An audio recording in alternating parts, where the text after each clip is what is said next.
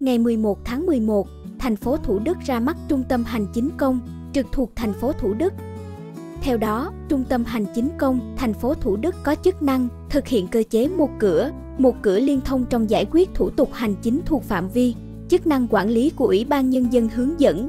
tiếp nhận, thẩm định, giải quyết hoặc chuyển hồ sơ đến các cơ quan chuyên môn thuộc Ủy ban Nhân dân giải quyết và trả hồ sơ của cá nhân, tổ chức trên các lĩnh vực thuộc thẩm quyền giải quyết của Ủy ban Nhân dân và nhận kết quả để trả cho cá nhân, tổ chức.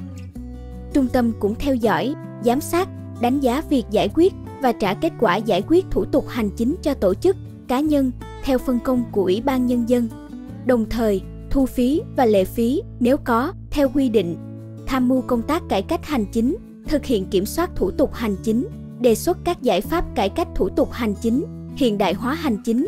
thực hiện một số nhiệm vụ, quyền hạn theo phân cấp, ủy quyền của Ủy ban Nhân dân và theo quy định pháp luật. Đây là mô hình trung tâm hành chính công đầu tiên của thành phố Hồ Chí Minh.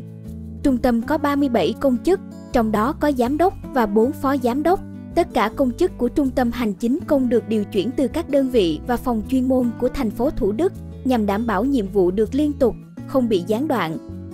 Theo Chủ tịch Ủy ban Nhân dân thành phố Thủ Đức Hoàng Tùng, đây là mô hình rất đặc biệt, thay vì quy trình tiếp nhận thủ tục hành chính rồi chuyển về các đơn vị chuyên môn để xử lý như trước đây. Trung tâm hành chính công sẽ trực tiếp tiếp nhận và xử lý kết quả, rút gọn thời gian xử lý thủ tục hành chính cho người dân, doanh nghiệp